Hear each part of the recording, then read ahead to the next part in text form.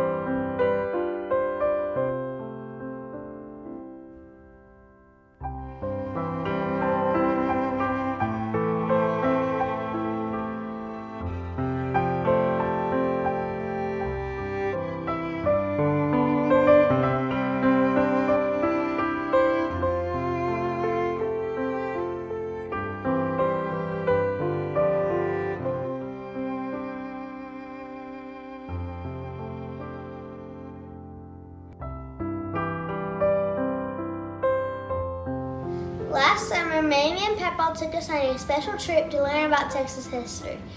We went to San Jacinto, Goliad, and the Alamo. Papa spent a lot of time teaching us all about the battles that were fought in the Texas Revolution. He loved history and he loved teaching, but most of all, he loved us.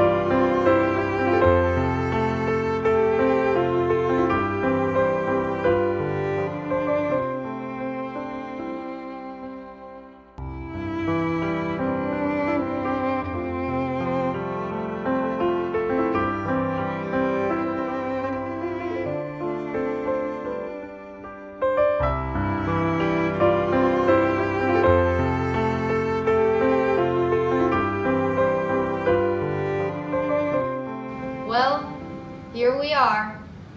That's something that those of us who have traveled with Papa know he said all the time. Psalm 26, 2 through 3 says, Our mouths were filled with laughter, our tongues with songs of joy. Then it was said among the nations, The Lord has done great things for them. The Lord has done great things for us, and we are filled with joy. This scripture reminds me of Papa because it's all about laughter. Papa loved telling jokes, cheesy dad jokes especially, and making people laugh. Whenever I was little, I would play on the floor of Mamie and Papa's house. When Papa wasn't laying on the floor playing with me, he was sitting in his red rocking chair, poking and tickling me with his feet and trying to make me laugh.